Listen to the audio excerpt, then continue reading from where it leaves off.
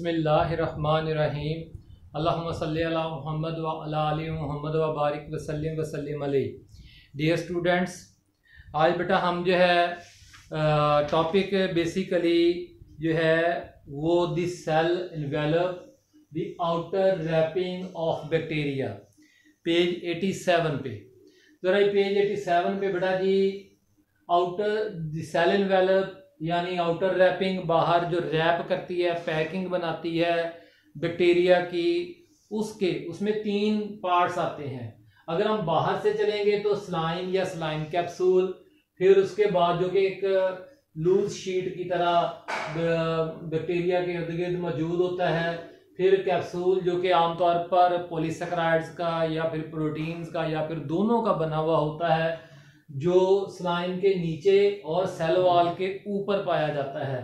Capsule के नीचे क्या पाई जाती है? सेल वॉल पाई जाती है। सेल वॉल के नीचे क्या पाई जाती है? प्लाज्मा ब्रेन स्लाइम स्लाइम के नीचे कैप्सूल कैप्सूल के नीचे सेल वॉल सेल वॉल के नीचे प्लाज्मा मेम्ब्रेन तो इस तरह से बेटा जी, ये तीन चीज़ें जो है, वो क्या बनाती हैं? बैक्टीरिया की आउटर रैपिंग यानी दी इन्वेलप बनाती हैं। ठीक हो गया ना जी? अगर हम अब अंदर से बाहर की तरफ़ चलें तो सेलवाल, फिर कैप्सूल और फिर आखिर में स्लाइम ठीक हो गया? तो आज बेटा जी ये दो स्लाइम और कैप्सूल पिछले लेक्चर में हो चुके हैं। आज हम जो है वो सिर्फ़ सेल वॉल के ऊपर बात करेंगे। आपने अपनी किताब पे हाईलाइटर चलाने हैं। ठीक हो गया ना जी? जो जो मैंने आपको किताब में से नोट करवाना है, वो आपने हाईलाइटर चला के नोट कर लेना है। हेडिंग्स भी किताब के ऊपर मेरे वाले ज़रूर नोट कर देने हैं।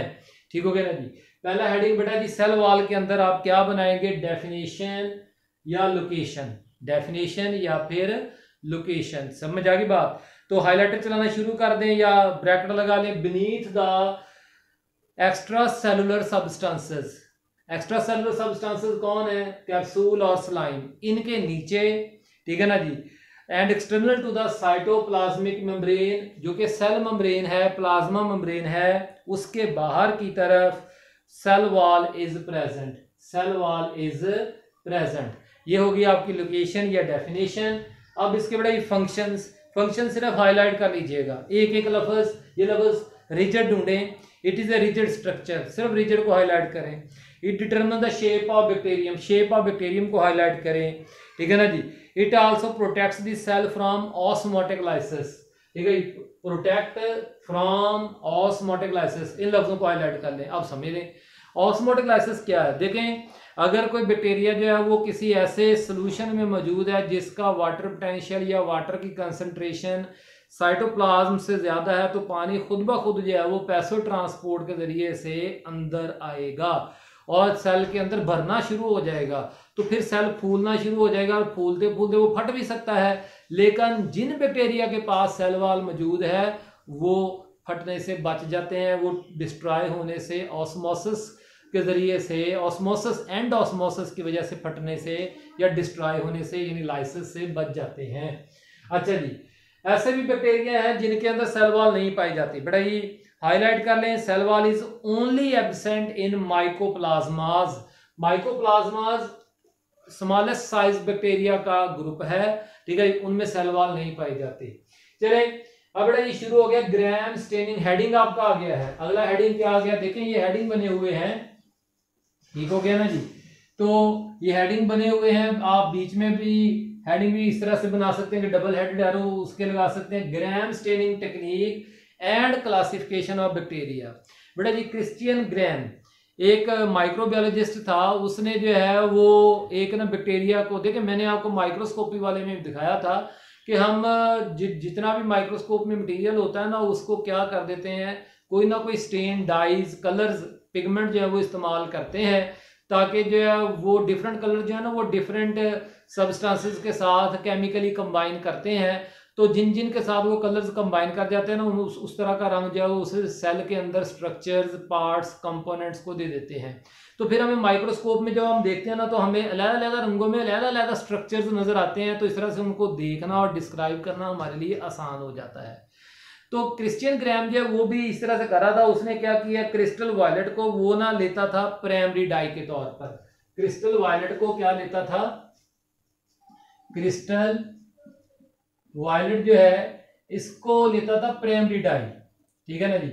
यानी बैक्टीरिया को पहले स्लाइड के ऊपर लगाया और फिर उसके ऊपर जो है ना क्रिस्टल वायलेट का जो स्टेन है बना हुआ, उसका जो कलर डाई बना हुआ है, उसका ना एक ड्रॉप लगा दिया, उनको रिंस कर दिया, अच्छे तरह से भिगो दिया। फिर थोड़ी देर बाद क्या करता था? उनको जो है ना वो वाश करता था इथेनॉल के साथ। क्रिस्टल वायलेट जब इथेनॉल में हल हो जाती है, अब वो क्रिस्टल वायलेट को असूलन उतर जाना चाहिए। लेकिन वो क्रिस्टल वायलेट जो कि बैक्टीरिया के साथ जो है, वो एक कॉम्प्लेक्स बॉन्ड बना लेती है कंपाउंड बना लेती है, वो नहीं उतरेगी। तो जो जो बैक्टीरिया जो है, वो क्रिस्टल वायलेट के कलर को अपने साथ चिपका लेंगे, वो वायलेट कलर के नज़र आएँगे, वो पर्पल कलर के नज़र आएँगे। वॉश करने के बाद उन बैक्टीरिया का नाम रख दिया ग्राम पॉजिटिव बैक्टीरिया ठीक हो गया ना जी? और वो बैक्टीरिया जो के जो के वो क्रिस्टल वायलेट को अपने साथ अपने साथ चिपकाते नहीं थे या उसके साथ यानी कॉम्प्लेक्स कंपाउंड नहीं बनाते थे, यानी पर्पल कलर नहीं लेते थे, उसने उनका नाम क्या रख दिया? ग्रैम नेगेटिव लेकिन ग्रैम नेगेटिव बैक्टीरिया को भी स्टेंड करने के लिए उसने क्या किया? रेड सेफ्रानीन रेड सेफ्रानीन ये सेकेंडरी डाई के तौर पर इस्तेमाल किया। किसके तौर पर? सेकेंडरी डाई के तौर पर। ये सेकेंडरी डाई जो है, वो क्या करता था? जो ग्राम नेगेटिव बैक्टीरिया होते थे, उनको क्या देता था? उनको देता था पिंक कलर तो इस तरह से जो है वो उनको भी यानी विजुलाइज कर लेता था। तो इस तरह से बेटा ये आइडिया हो जाता था कि ये जो है ना, वो बैक्टीरिया तो दो बैक्टीरिया के उसने फिर ग्रुप बना दिए कि ठीक है, क्या, कौन से जी? Those bacteria which stained purple due to formation of crystal violet one complex with cell wall. ठीक है ना जी? उनका नाम रख दिया gram positive bacteria and those bacteria which stain pink जो कि पिंक कलर देते थे। ठीक हो गया ना जी? उनका नाम उसने क्या रख दिया? ग्राम नेगेटिव बैक्टीरिया तो बेटा जी टेबल जो है वो आपकी किताब में, ये किताब में किस तरह से लिखा हुआ है? Christian Gram develop the technique of Gram stain ठीक है ना जी? Bacteria could be divide into two groups based on their responses to Gram staining procedure by this staining technique इस स्टेनिंग टेक्निक के ज़रिए से Gram positive bacteria stain purple retain the primary dye due to CV1 complex formation and gram negative bacteria are stained pink. ठीक है ना? Retain secondary dye in colour there are many structural differences बेटा, जब heading आ गया आपका, ये table है असल में, इसी पेज 87 के ऊपर. There are many structural differences between two groups Gram positive और ग्राम नेगेटिव बैक्टीरिया में बहुत सारे डिफरेंसेस होते हैं.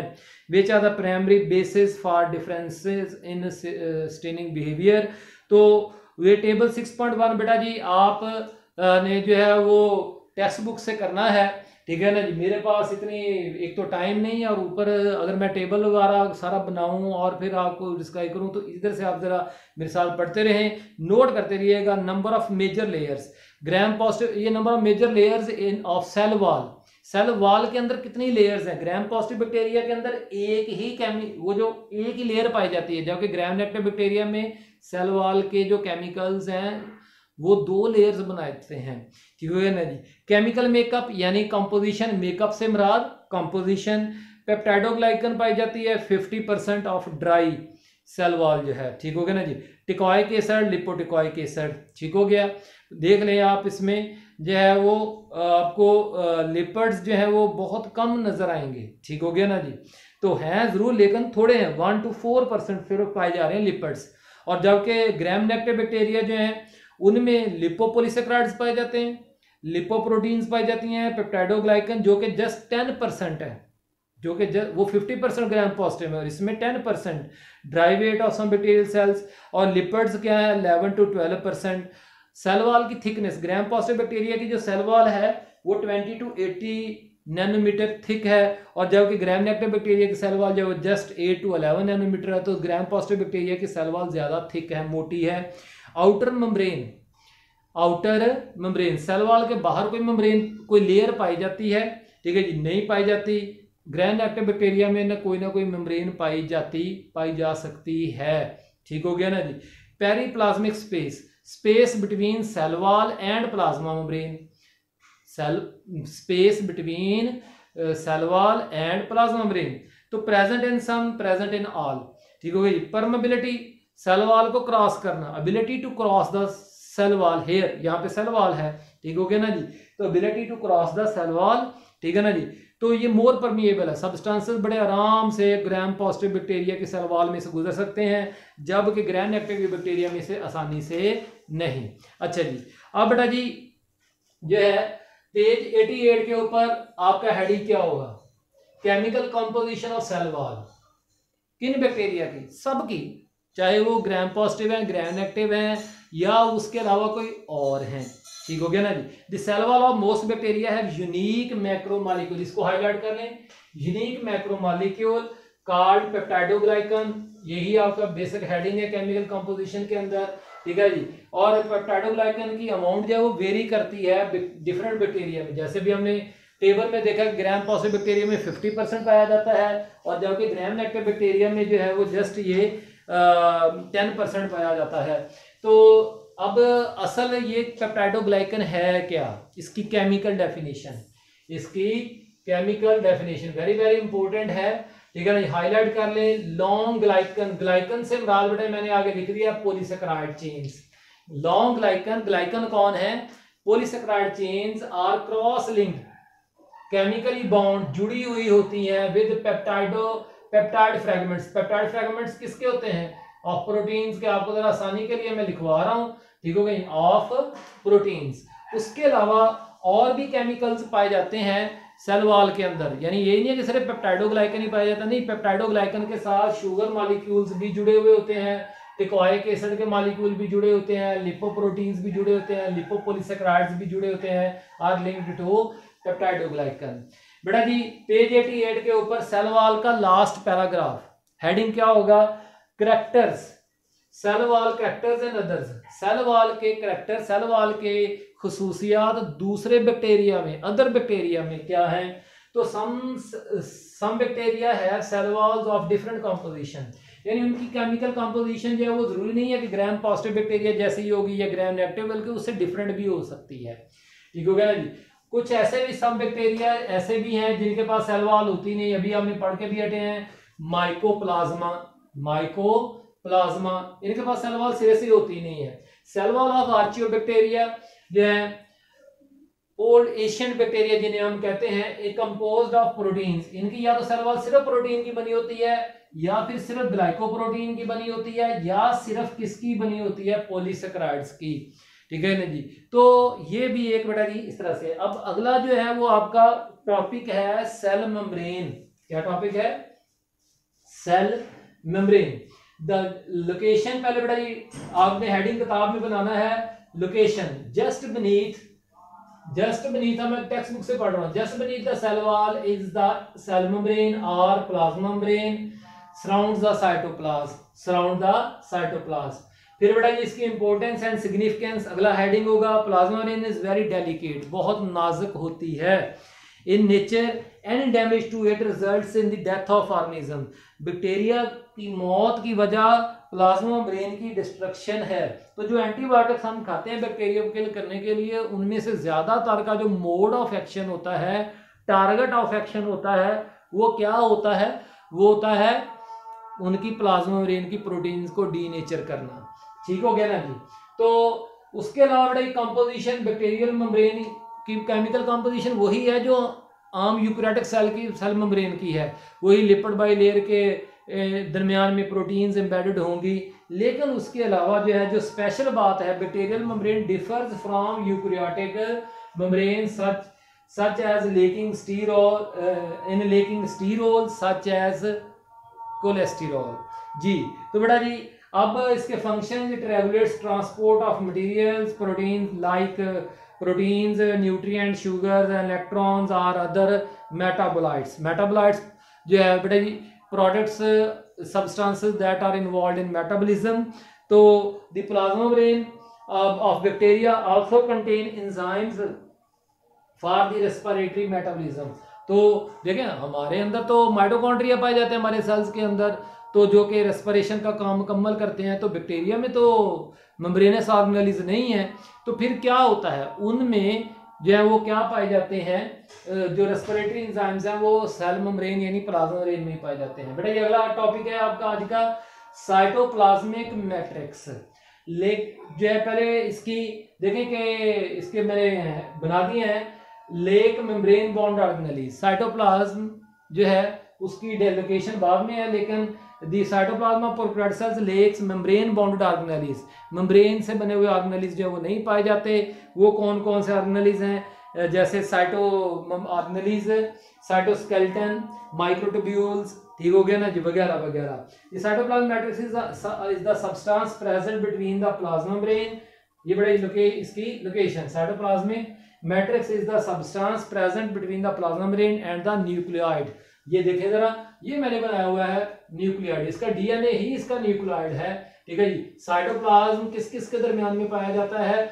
न्यूक्लियोइड और प्लाज्मा मेम्ब्रेन के दरमियान में न्यूक्लियोइड और प्लाज्मा मेम्ब्रेन के दरमियान में पाया जाता है।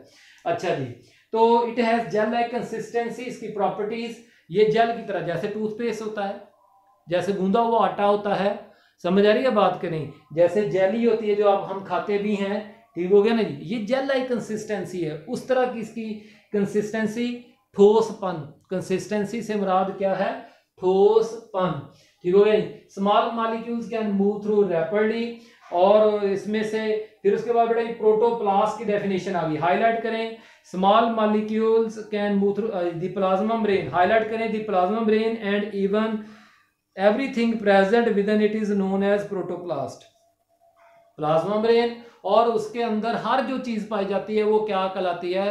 प्रोटोप्लास्ट। तो cytoplasmic matrix is a major part of bacterial protoplast other large discrete उसके अलावा और भी स्ट्रक्चर्स चीज़ें structures other materials other substances other parts of the cells are present in cytoplasmic matrix chromatin nuclear body ये DNA को ही chromatin body कहते हैं न्यूक्लियर बॉडी कहते हैं। न्यूक्लियोइड कहते हैं, ठीक है ना जी? और उसके अलावा राइबोसोम्स पाए जाते हैं मीजोसोम्स पाए जाते हैं, और ग्रेनुअल्स जो लार्ज प्रोटीन्स या लार्ज स्टार्च जैसे स्टोरिंग सब्सटेंसेस हैं, वो बड़े बड़े ग्रेन्स की सूरत में बड़े बड़े मैक्रो मालिक्यूल्स की सूरत में साइटोप्लाज्म में पाए जाते हैं। तो बेटा जी, कोई भी सवाल हो, व्हाट्सएप पूछें। अल्लाह ताला हम सबका आमीन नासर हो। आमीन, शुक्रिया।